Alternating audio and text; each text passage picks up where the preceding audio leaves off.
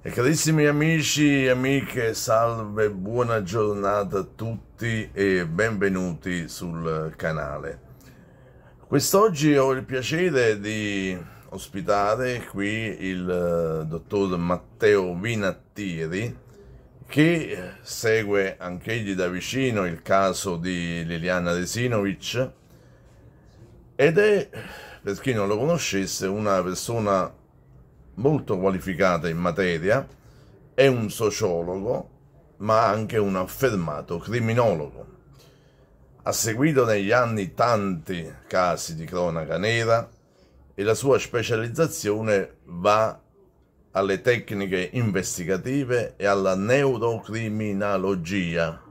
Forse non l'ho detto bene, neurocriminologia.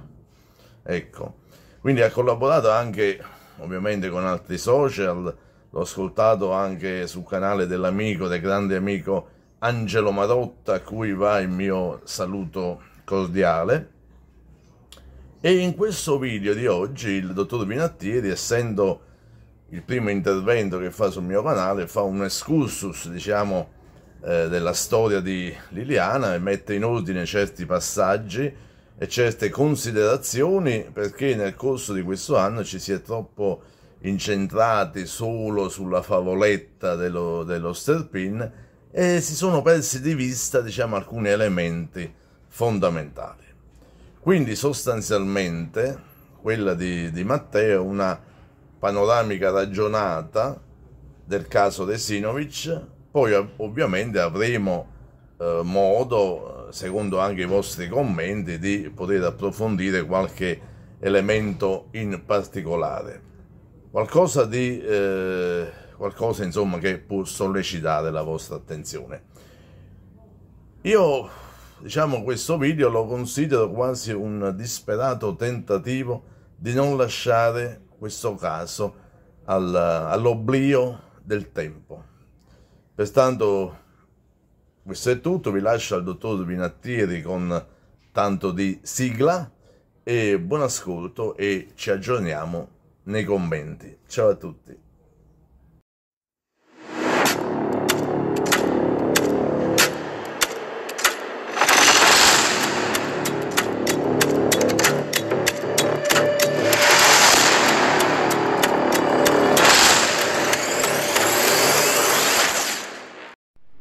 Buonasera Nicola, un saluto anche a tutti gli ascoltatori del tuo canale. Ti ringrazio e sono lieto e molto onorato per eh, questa collaborazione. Nel caso eh, di Liliana Resinovic troviamo tutta una serie di elementi che eh, in qualche modo sembrano contrastare e collidere l'uno con l'altro Tuttavia è necessario fare una premessa eh, doverosa. Questa premessa eh, si basa sul fatto che le indagini sono ancora oggi aperte e quindi tutti gli atti di indagine che sono stati effettuati dagli inquirenti sono coperti dal segreto pertanto non è possibile eh, accedere e consultare eh, il fascicolo eh, per poter fare un'analisi eh, più completa ed esaustiva possibile da cui poter trarre le successive conclusioni. Al momento possiamo quindi basarci soltanto su ciò che è stato riferito a mezzo stampa, vale a dire eh, in televisione o sui giornali, dai protagonisti legati a questa vicenda e, e ehm, su altri elementi che comunque sono apparsi e di cui si è parlato come ad esempio le conclusioni della perizia medico-legale eh, che era stata richiesta dalla Procura della Repubblica di Trieste al dottor Costantinides eh, che si è avvalso poi anche del dottor Cavalli per quanto riguarda gli aspetti radiologici. Dunque, Fatta questa premessa, eh, l'esame del caso al momento può essere soltanto di tipo parziale basandoci sugli elementi eh, noti che sono comparsi a mezzo stampa, in televisione o sui giornali. Dunque, eh, partendo dal giorno della scomparsa di Liliana, che è stato il 14 dicembre 2021, verosimilmente nella fascia oraria tra le 8.22 e le 9.30, si arriva poi al ritrovamento del corpo privo di vita eh, nel pomeriggio del 5 gennaio 2022. Quindi, partendo dal giorno della scomparsa, abbiamo Liliana che telefona dal proprio eh, cellulare all'amico Claudio Sterpin e telefonata che dura circa un minuto e 50 secondi effettuata alle ore 8.22 e dopodiché eh, il messaggio inviato alle 9.30 dal fratello Sergio Resinovic sul cellulare di Liliana che non è mai stato letto e neppure visualizzato. E quindi eh, verosimilmente le, la forchetta temporale in cui Liliana ha perso il controllo del proprio cellulare è stata eh, quella tra le 8.22 e le 9.30 del mattino di quel 14 dicembre 2021 in base agli elementi eh, oggettivi la scomparsa di Liliana avvenuta il 14 dicembre 2021 difficilmente può coincidere con un allontanamento volontario da casa per poter trascorrere altrove alcune giornate, magari per poter riflettere su qualche decisione, su qualche scelta che poteva essere effettuata da lei in quel periodo, come a volte può capitare a tutti noi. E tutto questo perché eh, non ha preso né il cellulare con sé né i documenti e neppure il Green Pass che all'epoca era obbligatorio per poter accedere in diversi luoghi, tra cui anche i mezzi pubblici per potersi spostare da un luogo ad un altro. La scomparsa quindi appare mh, in modo poco probabile coincidente con un allontanamento volontario della signora. Fatta questa eh, premessa, che si basa ovviamente su, sugli elementi eh, a noi noti, il corpo di Liliana viene poi eh, ritrovato privo di vita il pomeriggio del 5 gennaio 2022 e in base alle conclusioni eh, a cui giunge la perizia medico-legale eh, la fascia eh, temporale in cui sarebbe avvenuto il decesso è tra le 48 e le 60 ore prima del ritrovamento. Quindi si torna al 3 gennaio e la fascia oraria è quella tra le 5 del mattino e le 5 del pomeriggio. Quindi abbiamo in pratica una data del decesso eh, difficilmente spiegabile per come è avvenuta la scomparsa della vittima eh, 20 giorni prima. Questo è un elemento anomalo che appare eh, tra quelli a noi noti. Ovviamente non sappiamo se negli atti di indagine la Procura può avere trovato delle prove sull'esistenza in vita di Liliana nei giorni intercorsi tra il 14 dicembre e il 3 gennaio. Non avendo a disposizione eh, dati che vadano in questo verso, cercherò di eh, fare delle puntualizzazioni riguardo alla scienza, in particolar modo alla medicina legale. puntualizzazioni che eh, ovviamente non vengono fatte in qualità di medico legale perché non ne ho le competenze però in qualità ehm, di persona che ha studiato eh, la tanatologia forense nel percorso di studi post universitari effettuati. E, e per quanto riguarda la tanatologia forense dobbiamo dire che eh, ci sono dei fattori estrinseci che condizionano eh, l'insorgenza e la successiva durata del rigor mortis eh, a carico di un uh, corpo privo di vita e la stessa cosa mh, va detta a riguardo ai fenomeni putrefattivi che si hanno poi a carico de, dello stesso cadavere. In particolar modo uno degli elementi fondamentali dei fattori estrinseci è la temperatura. Minore è la temperatura e più lenti sono i processi sia del rigor mortis che eh, quelli eh, legati alla putrefazione. In particolare mi preme citare il trattato di medicina legale, teorica e pratica eh, scritto da De Verger, che era eh, francese, nel 1835 e tradotto anche in lingua italiana nel 1839. Nel citato trattato di medicina legale teorica e pratica,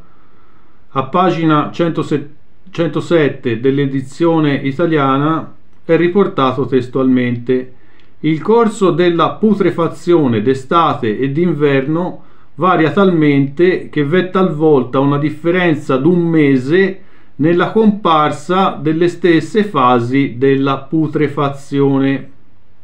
E questo è un elemento fondamentale di cui dobbiamo anche tenere conto. E questo, quest'opera è citata tra l'altro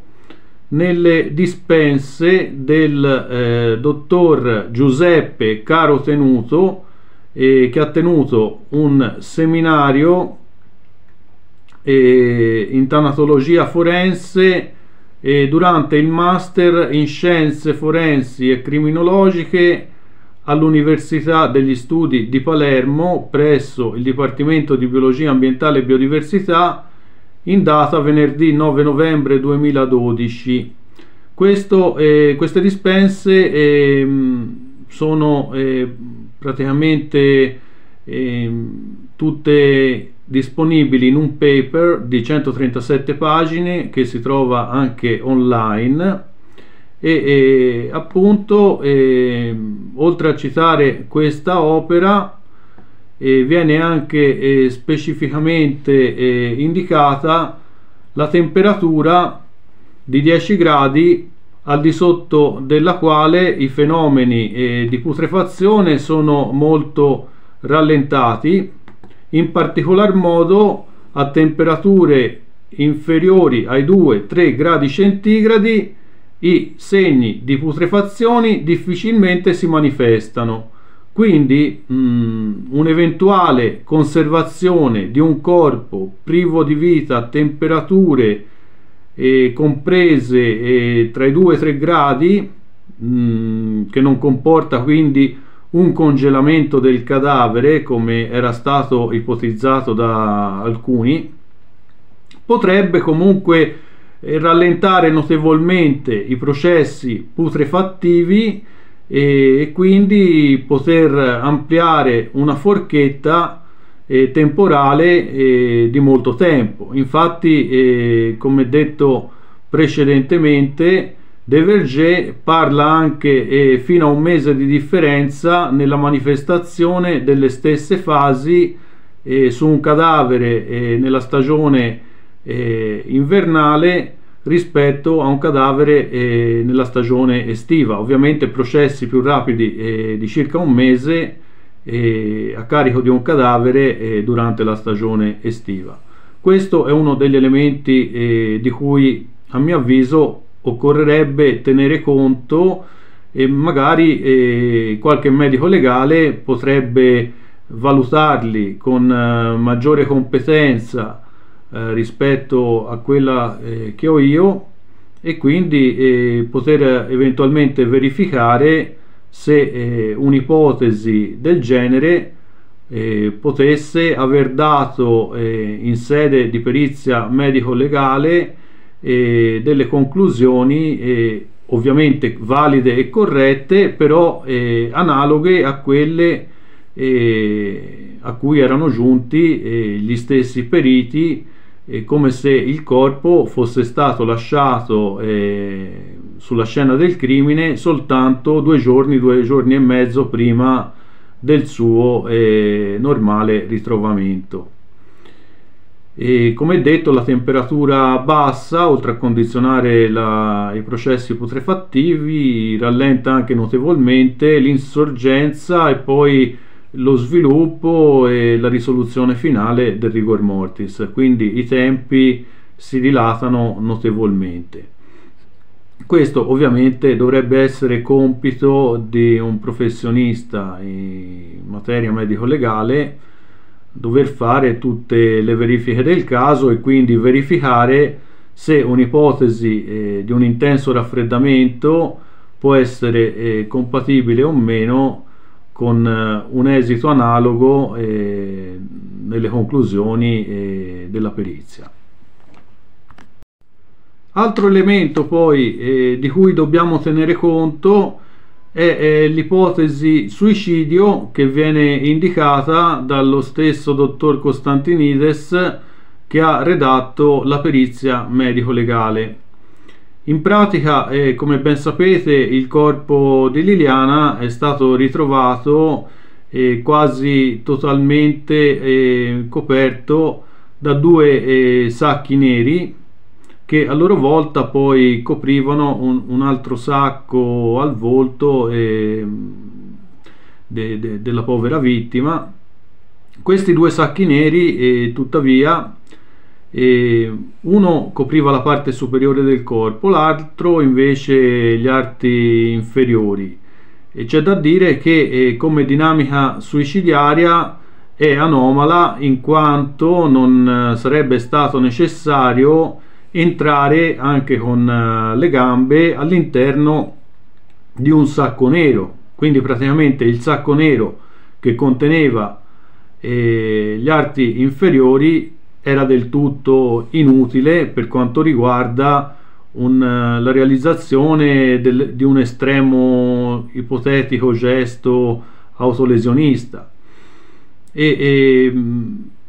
il dottor Costantinides appunto supporta eh, questa ipotesi rifacendosi alla letteratura sui suicidi analizzati in un lungo lasso temporale in base alla quale eh, questa modalità di suicidio sarebbe tra quelle eh, più diffuse. Tuttavia, a mio avviso, il corpo quasi interamente occultato all'interno di due sacchi neri può essere eh, analizzato anche sotto un altro punto di vista, ovvero una manipolazione avvenuta dopo la morte della eh, povera eh, signora. In questo caso la manipolazione non avrebbe avuto lo scopo di eh, confondere le acque, quindi ehm, diciamo depistare eh, i poliziotti che poi sarebbero intervenuti sulla scena del crimine facendo credere ad una causa di morte movente ad un movente piuttosto che un altro ecco non era quello l'intenzione del, della manomissione della, manu, de, della manipolazione che, c'è stata. Ma ehm, tecnicamente noi addetti ai lavori definiamo undoing eh, l'occultamento parziale o totale del corpo di eh, un, una persona deceduta che eh, viene eh, messo in atto dal responsabile della, della morte per eh, creare una barriera tra eh, sé e l'azione che ha compiuto e che ha portato alla morte della, della vittima. In particolar modo eh, questa manipolazione avverrebbe in modo quasi inconsapevole ed è ehm, come se venisse retta una barriera psicologica tra ehm, il soggetto responsabile e l'azione che poi ha determinato eh, la morte della vittima. In pratica è come se eh, psicologicamente eh, la persona ehm, che ha commesso il delitto creasse un, questa barriera per avere una sorta di benessere psicologico che va a um, contrastare con uh, il, um, il, dolore eh, de, de, de, che, che, è determinato dalla, dall'azione compiuta. E tecnicamente eh, si parla di undoing, riferendosi a questo tipo eh, di manipolazione e riguardo all'undoing um, è, è necessario citare un interessante studio fatto da eh, ricercatori finlandesi. Andando nei dettagli di questa ricerca che è stata realizzata nel 2009 da Elina Akkanen Niholm Hanna Putkonen, Nina Lindberg, Matti Oli, Tuja Rovamo, Gitta Weissman Enelius, intitolata Gender Differences in Finnish Homicide Offense Characteristics, notiamo che eh, nell'analisi di, eh, di tutti gli omicidi avvenuti in Finlandia tra il 1995 e il 2004 è venuto fuori che questa manipolazione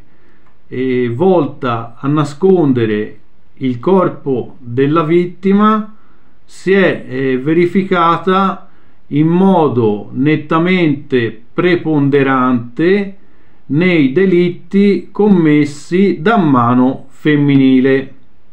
Questa potrebbe essere una chiave di lettura alternativa interessante rispetto alle conclusioni della perizia medico-legale che ipotizzano come eh, probabilità più elevata quella del suicidio.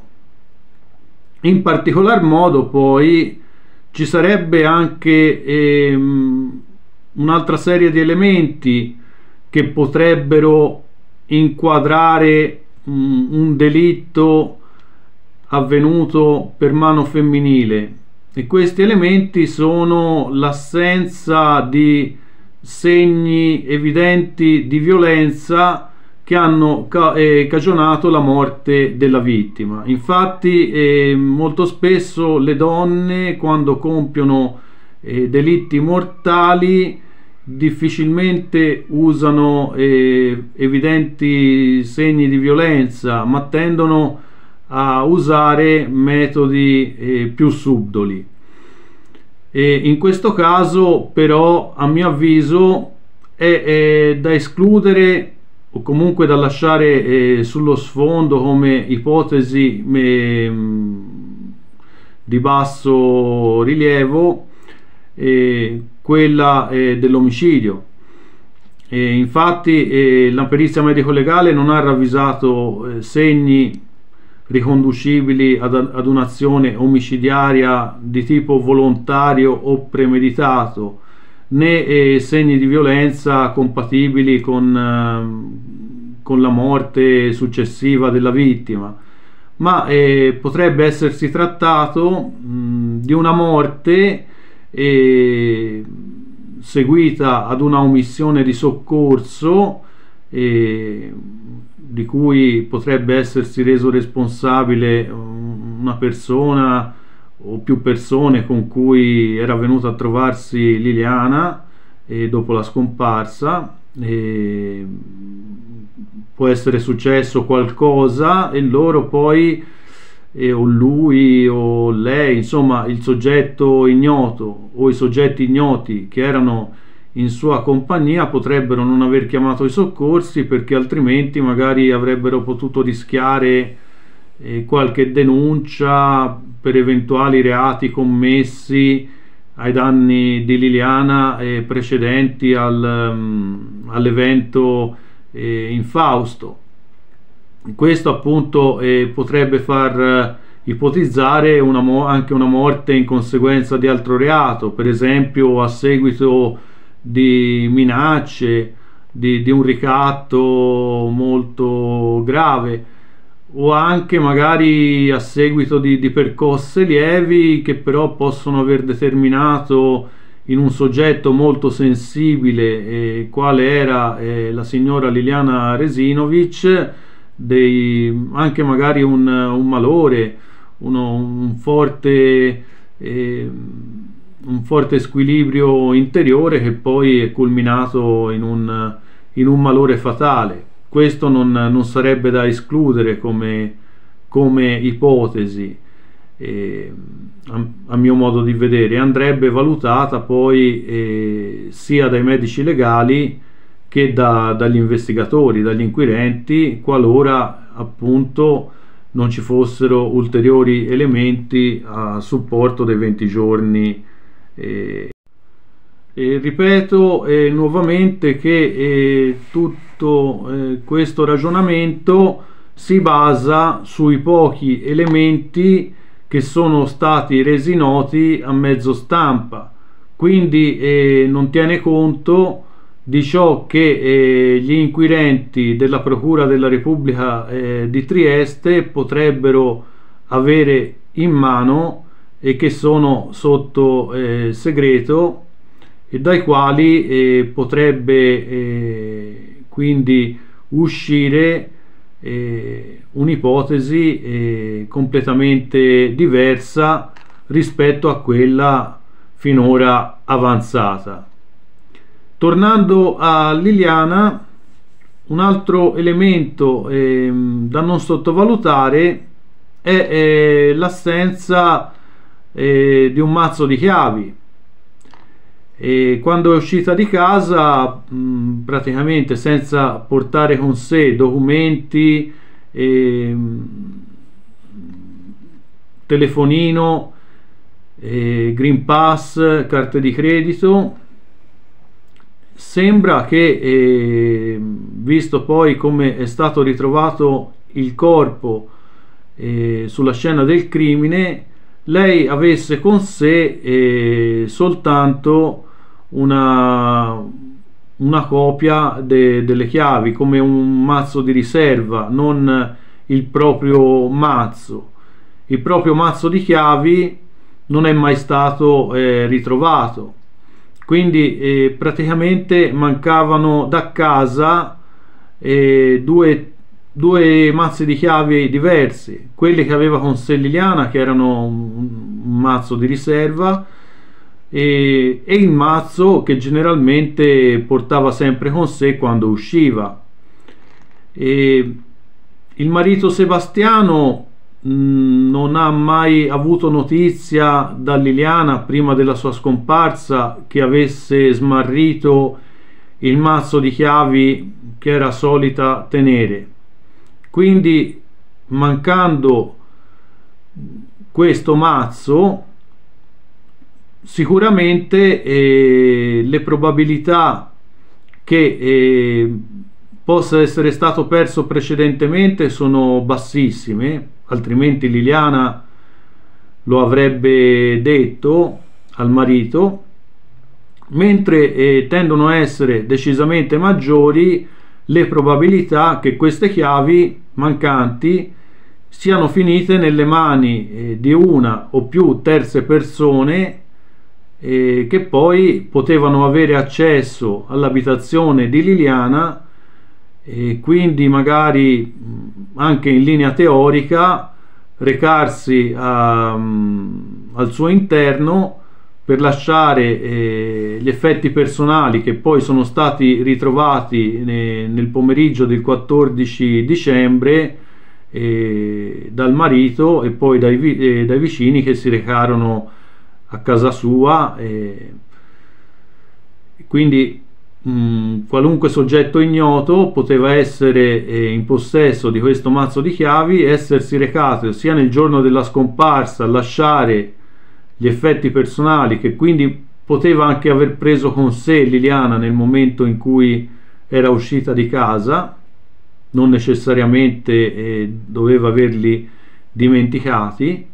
ma eh, l'accesso all'abitazione poi eh,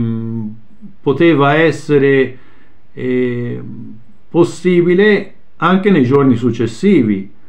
fin quando poi eh, non è stato ritrovato il corpo di Liliana e anche eh, nei giorni seguenti fin quando il marito non ha cambiato la serratura della porta della, della propria abitazione. Quindi c'è anche da tenere conto di questo fattore in più che a mio avviso è stato molto sottovalutato almeno da, dall'opinione pubblica eh, quando ha trattato eh, il caso.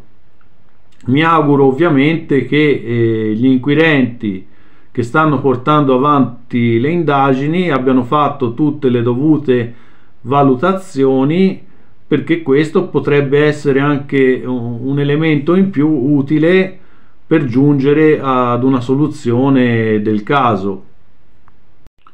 Dunque, ehm, ho fatto un'analisi generale basandosi più che altro sugli elementi oggettivi e concreti di cui siamo a conoscenza e ovviamente del tutto parziale perché non avendo in mano, non potendo avere accesso agli atti presenti eh, nel fascicolo aperto in procura per sequestro di persona a carico di ignoti, non è possibile eh, poter eh, dare un, um, una, una, probabilità eh, specifica su, sull'ipotesi avanzata affinché questa possa essere realistica o meno. Mm, quindi è un'ipotesi eh, del tutto parziale eh, soggetta ad un elevato grado di margine di errore. E, e, per quanto riguarda gli altri aspetti che sono noti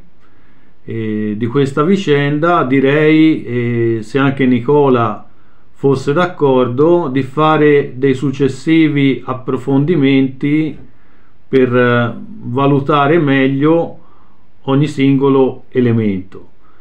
Direi che eh, l'inizio si debba basare l'inizio de, dell'analisi del caso su questi elementi che sono a mio avviso quelli basilari per poter eh, iniziare a vagliare eventuali eh, piste investigativi che vadano in una, in una direzione piuttosto che un'altra. Eh, ricapitolando, tenderei a, ad escludere o quantomeno a um, mantenere come ipotesi eh, minoritaria quella del suicidio. Tenderei eh, ad escludere l'omicidio volontario e l'omicidio premeditato e tenderei invece a um, valorizzare l'ipotesi di una morte in conseguenza di altro reato o al più di un omicidio preterintenzionale qualora eh, la povera Liliana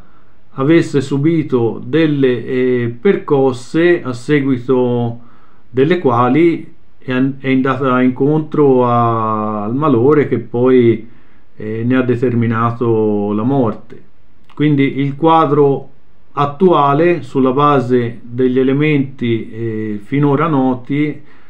è questo dal mio punto di vista. Per il resto lascio la linea a Nicola che saluto nuovamente in modo molto caloroso e ringrazio altrettanto vivamente per, perché sono onorato di collaborare con lui sul suo canale. Un saluto anche a tutti gli ascoltatori del canale e spero di poterci risentire presto.